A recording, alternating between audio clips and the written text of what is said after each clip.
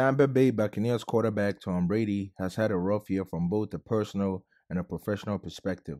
The tough times continued this weekend when a series of photos posted with his family came under intense scrutiny with the media. Specifically, Tom Brady posted a picture with his son that seemed to really catch a lot of people's attention.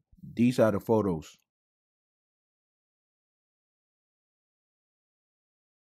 So the photo started a whole lot of conversations on social media, and Tom Brady is facing backlash for posting those pictures. This is what people have to say. Take a listen.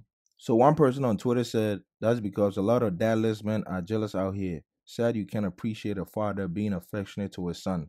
This is what some of your kids need, then then they wouldn't be growing up robbing and disrespecting people. Okay, that went wild real quick.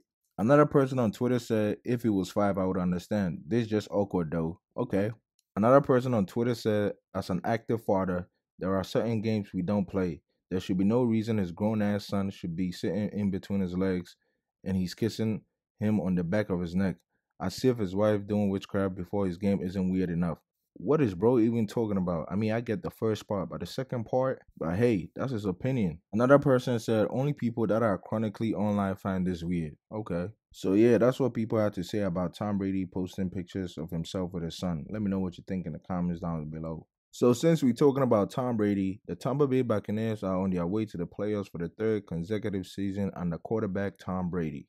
Tampa Bay defeated the Carolina Panthers 30 to 24 in week 17 Sunday to clinch the NFC South. Though it wasn't exactly how they drew it up, in a perfect world, the Buccaneers would have been running away with the division as one of the best teams in the NFL.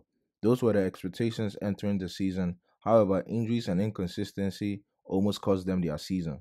This game was a win or go home situation for the Buccaneers, and they showed glimpses of the team many expected them to be.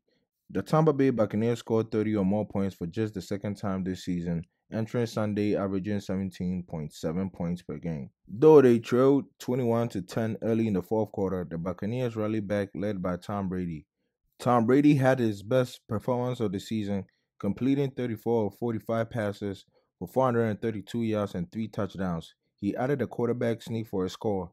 Tom Brady's connection with star wide receiver Mike Evans was at its best Sunday after weeks of misfires. Mike Evans, who hadn't scored a touchdown since week 4, exploded for 10 catches for 207 yards and 3 touchdowns. His third score was most important as it gave Tampa Bay its first lead of the game with 6.47 remaining in the fourth quarter. Mike Evans surpassed the 1,000 yard receiving mark for the season, joining Jerry Rice and Tim Brown as the only players in league history to record nine straight seasons of such.